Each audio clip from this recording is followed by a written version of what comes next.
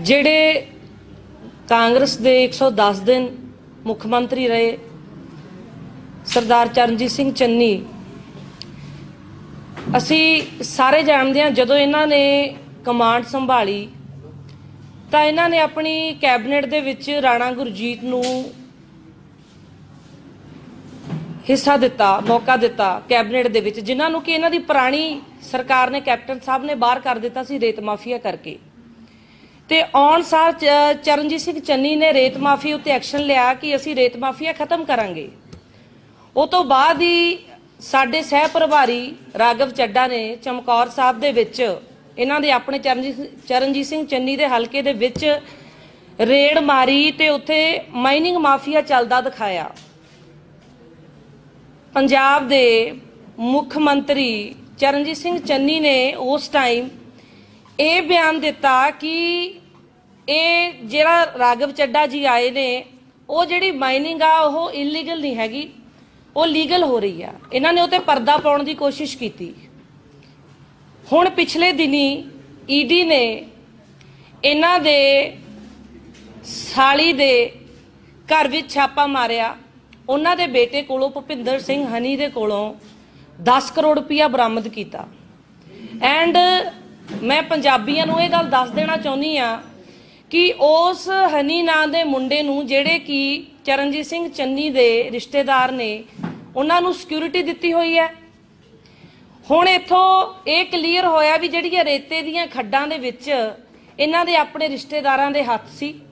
ਜਦੋਂ ਪੰਜਾਬ ਦਾ ਹਰ ਸੂਝਵਾਨ ਬੰਦਾ ਇਹ ਜਾਣਦਾ ਵੀ ਜਿਹੜਾ ਹੱਥ ਹੁੰਦਾ ਉਹ ਰਿਸ਼ਤੇਦਾਰਾਂ ਦਾ ਨਹੀਂ ਹੁੰਦਾ। ਜਦੋਂ ਕੋਈ ਕਰਪਟ ਲੀਡਰ ਨੇ ਸਿਆਸਤ ਕਰਨੀ ਹੁੰਦੀ ਆ ਤਾਂ ਉਹ ਜਿਹੜੀ ਬੇਨਾਮੀ ਪ੍ਰਾਪਰਟੀ ਆ ਜਾਂ ਇਲੀਗਲ ਪੈਸਾ ਉਹਨੇ ਫੜਨਾ ਹੁੰਦਾ, ਉਹ ਆਪਦੇ ਰਿਸ਼ਤੇਦਾਰਾਂ ਦੇ ਥਰੂ ਫੜਦਾ ਚਰਨਜੀਤ ਸਿੰਘ ਚੰਨੀ ਹੁਣ ਤੱਕ ਗਰੀਬ, ਇਸ ਚੀਜ਼ਾਂ ਨੂੰ ਗੱਲ ਕਰਕੇ ਸਹਾਰਾ ਲੈ ਕੇ ਅੱਗੇ ਵਧਦੇ ਰਹੇ ਆ। ਜੇ ਇਹਨਾਂ ਤੇ ਕੋਈ ਇਲਜ਼ਾਮ ਲੱਗ ਜਾਵੇ, ਇਹ ਕਹਿਣਗੇ, ਮੈਂ ਗਰੀਬ ਆ, ਮੈਂ ਦਲਿਤ ਆ, ਮੇਰੇ ਤੇ ਤੁਸੀਂ ਇਹ ਝੂਠੇ ਇਲਜ਼ਾਮ ਲਾ ਰਹੇ ਹੋ। ਮੈਂ ਸਰਦਾਰ ਚਰਨਜੀਤ ਸਿੰਘ ਚੰਨੀ ਨੂੰ ਇਹ ਗੱਲ ਕਹਿਣਾ ਚਾਹੁੰਦੀ ਆ ਕਿ ਜਦੋਂ ਕੋਈ ਇਲਜ਼ਾਮ ਕਰਦਾ, ਜਦੋਂ ਕੋਈ ਗਲਤ ਕੰਮ ਕਰਦਾ, ਜਦੋਂ ਕੋਈ ਚੋਰੀ ਕਰਦਾ, ਉਹਦੇ ਨਾਲ ਕਿਸੇ ਜਾਤੀ ਵਿਸ਼ੇਸ਼ ਦਾ ਲੈਣਾ ਦੇਣਾ ਨਹੀਂ ਹੁੰਦਾ। ਚੋਰ ਇਸ ਟਾਈਮ ਪੰਜਾਬ ਦੇ ਮੁੱਖ ਮੰਤਰੀ ਚਰਨਜੀਤ ਸਿੰਘ ਚੰਨੀ ਨੇ ਦਲਿਤ ਸਮਾਜ ਚੋਰ ਨਹੀਂ ਹੈਗਾ। ਤੁਹਾਡੇ ਕੋਲੋਂ 10 ਕਰੋੜ ਰੁਪਇਆ ਬਰਾਮਦ ਹੋਇਆ। ਤੁਹਾਡੇ ਰਿਸ਼ਤੇਦਾਰ ਭੁਪਿੰਦਰ ਸਿੰਘ ਹਨੀ ਦੇ ਕੋਲੋਂ ਸਾਰਾ ਪੰਜਾਬ ਇਸ ਟਾਈਮ ਇਹ ਪੁੱਛ ਰਿਹਾ ਵੀ ਉਹ ਪੈਸਾ ਕਿੱਥੋਂ ਆਇਆ? ਇਹ ਤਾਂ 10 ਕਰੋੜ ਉਹ ਪੈਸਾ, ਜਿਸ ਤਰੀਕੇ ਆਪਣੇ ਘਰੇ 10000 ਰੁਪਇਆ ਨਹੀਂ ਪਿਆ ਹੁੰਦਾ ਵੀ ਆਪਣੇ ਕਿਤੇ ਟਾਈਮ ਕੈਸ਼ ਕੰਮ ਆ ਜਾਂਦਾ। ਉਸ ਤਰੀਕੇ ਇਹਨਾਂ ਨੇ ਆਪਦੇ ਘਰੇ 10 ਕਰੋੜ ਰੱਖਿਆ, ਹਲੇ ਤਾਂ ਬਾਕੀ ਰਿਸ਼ਤੇਦਾਰਾਂ ਦੀ ਜੇ ਡਿਟੇਲ ਕਢਾ ਲਈ। 12 ਲੱਖ ਦੀ ਰੋਲੈਕਸ ਘੜੀ ਸੀ ਉਸ ਮੁੰਡੇ ਕੋਲ 12 ਲੱਖ ਦੀ 12 ਲੱਖ ਦੀ ਘੜੀ ਇੱਕ ਆਮ ਪਰਿਵਾਰ, ਜਿਹੜੇ ਕਹਿ ਰਹੇ ਅਸੀਂ ਗਰੀਬ ਪਰਿਵਾਰ 12 ਲੱਖ ਦੀ ਘੜੀ ਫੜੀ ਗਈ।